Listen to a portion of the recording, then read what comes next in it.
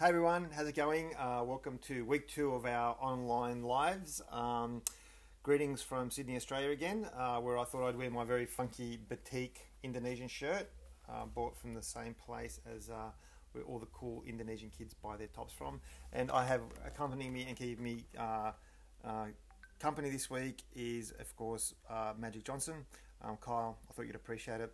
I couldn't find a Larry Bird one. I wish I did. It would have been awesome. Anyway, moving right along.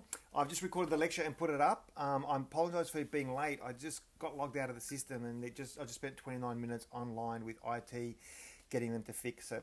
So this week we're doing um, populism, and it's a really good contrast to look at populism following our week on cosmopolitanism.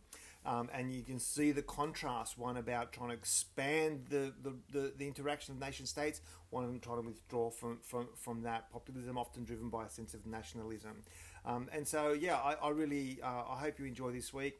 I concentrate on the one um, reading, which is by Obermay, but there are two others specifically looking at Donald Trump.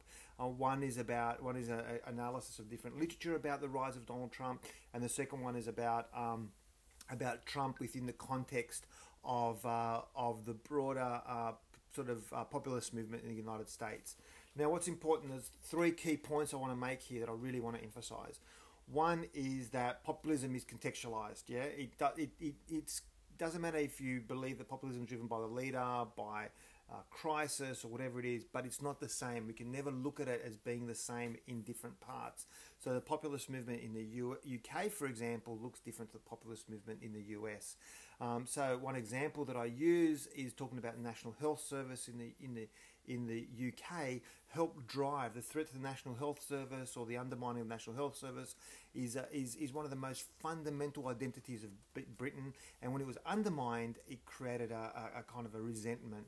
So, um, so yeah, so that's a that's a universal healthcare. Whereas you look at the almost the exact opposite um, happens in the U- US. Um, if people try and drive the sort of the Affordable Healthcare Act, what you get is this sense of populist movements reacting against the government entering their lives. So it's contextual.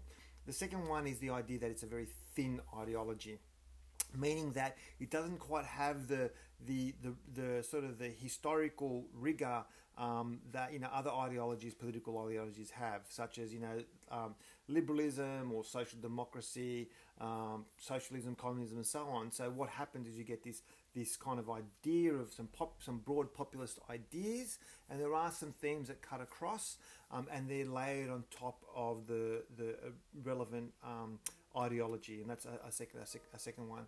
I suppose the third uh, the third um, thing about uh, populism that I want to say is that it's not dominated by the left or the right. Although uh, most recently, with the rise of Donald Trump and Brexit, it, we've been talking about right-wing populist movements. We should also um, acknowledge the fact that you know it's not ideologically driven by left or right. That goes back to the idea that it's a thin layer, right? Um, a, a, thin political layer. Um, so you know you can look at Occupy Wall Street, you can look at Bernie Sanders, you can look at the left-wing movements throughout Latin America, Hugo Chavez and others. So it's not just driven by right-wing or left-wing populism. It is, it is, it crosses those political ideologies. So what's happening? Um, so what's happening now is uh, the lectures up. We will meet face to face. We'll try and organise some breakout groups, and then also don't forget that you have to. Uh, you should be submitting your um, literature review. It's only the literature review. It's a draft literature review, um, about a thousand words. I would recommend, um, and I will. Um, I will. Uh, I think that's it. I will get back to you all uh, tomorrow. I'll see you face to face. I hope you're doing well and dealing with these crazy times. Bye now.